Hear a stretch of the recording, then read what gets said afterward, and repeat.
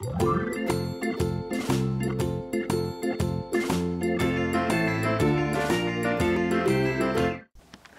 à tous, c'est Falco. Aujourd'hui, on se retrouve pour faire un mini-album. Alors, c'est un mini-album enveloppe que j'ai en partie fait avec du matériel de chez Action. Donc, euh, les papiers, c'est du papier de chez Action, mais il y a certaines choses qui ne viennent pas de chez Action au niveau de la déco. Donc, euh, je ne veux pas vous dire qu'il est à 100% Action. Alors, euh, je vous laisse avec la construction du mini-album et puis on se retrouvera à la fin de la vidéo pour vraiment faire le détail de tout l'album en question. Pour réaliser cet album, vous prenez 4 enveloppes. Alors le nombre d'enveloppes peut agrandir. Un papier de 21 sur 9 et 3 papiers de 6 euh, sur 21. Ensuite, je prends deux enveloppes, les deux autres, je les mets sur le côté. Je fais rentrer les petits euh, parties du dessus de l'enveloppe à l'intérieur de mes papiers pour ne pas qu'ils me gênent. Donc je disais, euh, les enveloppes, vous pouvez agrandir euh, l'album. Euh, pour ça, si vous l'agrandissez, il va falloir ajouter des papiers de 6 x 21 en plus. Alors, je prends le papier de 9 sur 21 et je fais un pli à 3 et un autre à 3 aussi, donc 3 de chaque côté ce qui va me permettre de faire la reliure extérieure de l'album. Je vais venir coller enfin, les deux enveloppes, donc l'enveloppe de devant et l'enveloppe de l'extérieur.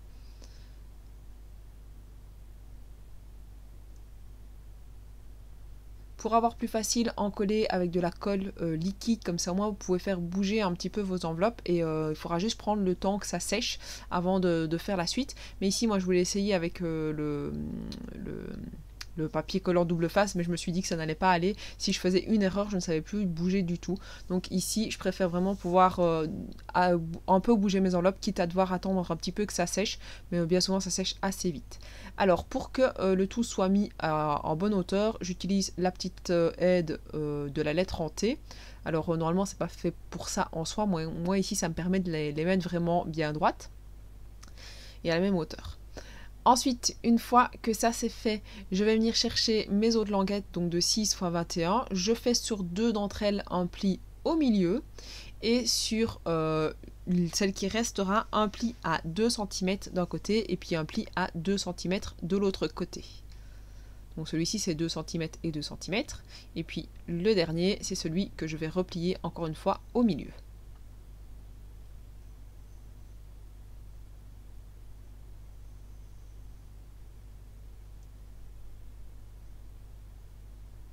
Je prends mes autres enveloppes qu'il me reste, je viens en coller une des languettes que j'ai pliées sur le milieu,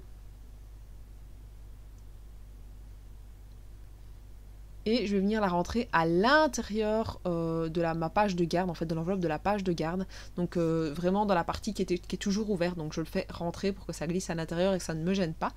Et euh, pour l'autre morceau, je viens pareil, je fais rentrer la petite languette intérieure de l'enveloppe et je viens encoller la partie extérieure de mon papier de 6 sur 21 et je vais venir le réaplatir à l'intérieur de mon enveloppe.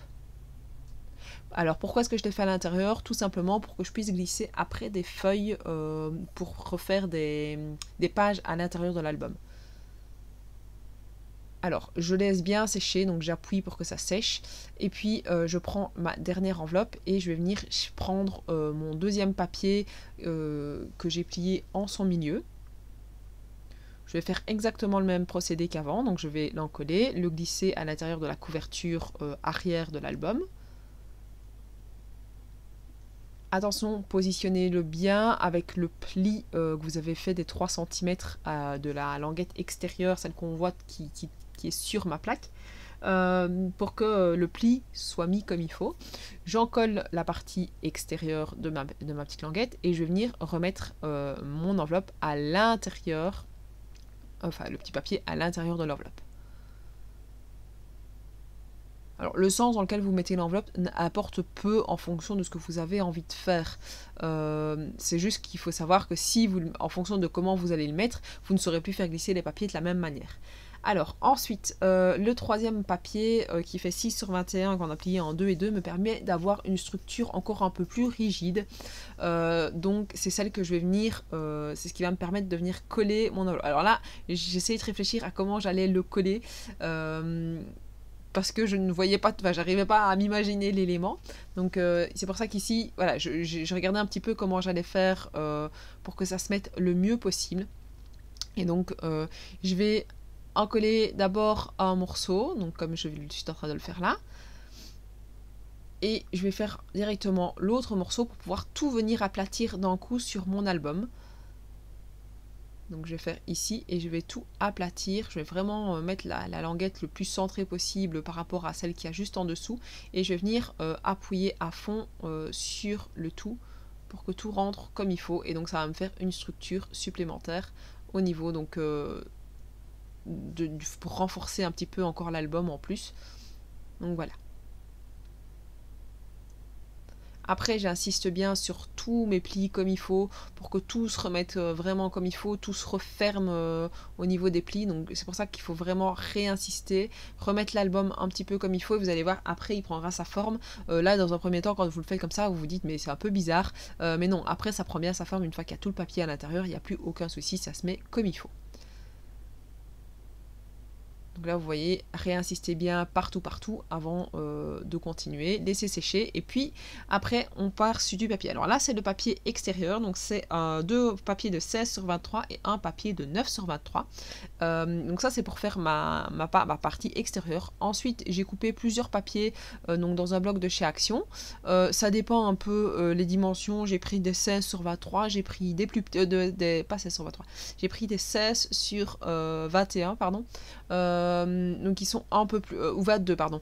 Euh, et ils sont un peu plus petits que le reste. Alors, je vais aller faire ma couverture. Pour faire ma couverture, je vais venir d'abord poser le premier papier... Alors moi ici j'ai choisi deux fois le même papier. Si vous avez envie d'un papier différent sur la page avant que la page arrière, réfléchissez à comment vous allez devoir les mettre. Donc sur la page avant, je viens d'abord coller ma page de garde. Donc j'applique bien, je fais bien rentrer la colle partout, je l'étale bien avec ma, main. Et vu que c'est de la colle liquide, je peux remettre mon papier au fur et à mesure comme il faut pour être sûr qu'il tienne bien partout. Je vais faire pareil euh, de l'autre côté, mais un peu plus tard dans l'album. Le problème, c'est que ça ne s'est pas filmé. Euh, donc, la partie sur euh, vraiment la couverture, vous ne l'aurez pas. maintenant, j'ai fait exactement pareil de l'autre côté. Et puis, pour la reliure, j'ai d'abord j'ai d'abord collé une part, enfin j'ai plié euh, à 3 cm et puis un pli de l'autre côté aussi à 3 cm et puis j'ai été euh, encoller ces deux parties là étape par étape. Ici ce que je suis en train de faire c'est euh, la partie à l'intérieur. Donc je vais plier mes papiers pour qu'ils se mettent exactement comme j'en ai envie. Donc je vais vous laisser tout ça en, photo, en vidéo. Ce sera plus parlant que vraiment moi qui parle sur le côté. Mais vous allez voir au fur et à mesure comment je